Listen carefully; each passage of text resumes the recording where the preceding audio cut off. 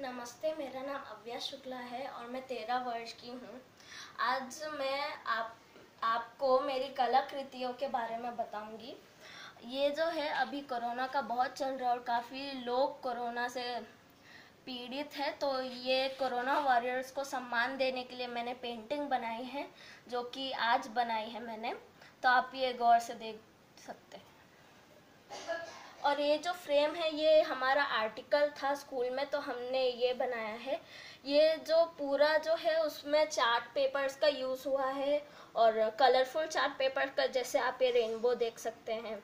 और ये ग्रास में भी लाइट ग्रीन का यूज़ हुआ है। और डेकोरेशन के लिए हमने कुछ ये बटरफ्लाई स्टिकर्स लगाए हैं और बर्ड्स के लिए ब्लैक पेंट।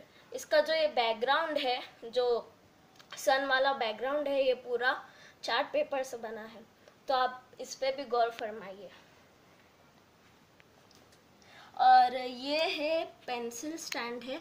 इस इसको मैंने एक वेस्ट सीडी क्विलिंग पेपर से बनाया उसके मैंने लीव्स बनाए हैं और एक सर्कल रंगोली टाइप इसमें आप जो भी चूज़ करना चाहें आप कर सकते हैं। और ये जो बलून्स है वो भी सिरेमिक से ही और, और एमसिल से बनाया है। ये यहाँ फ्लावर्स है। ये मैंने लॉकडाउन के दौरान बनाया है। और ये जो ऊपर आप ये देख रहे हैं, वो मड का एक कप है। आप इसमें कुछ भी ले सकते हैं। आप मटके को भी ऐसे, जो छोटा मटका आता है, उसको भी ऐसे डिज़ाइन कर सकते हैं। और पीछे भी ये ग्रास है, जो कि एमसिल से सिर्फ़ बनाई गई है। और ये स्टोन भी। और ये एक्रेलिक कलर्स इसमें यूज़ किए गए हैं। और ये वेस्ट सीडी है।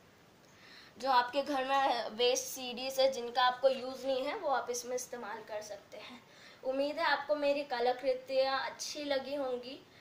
धन्यवाद।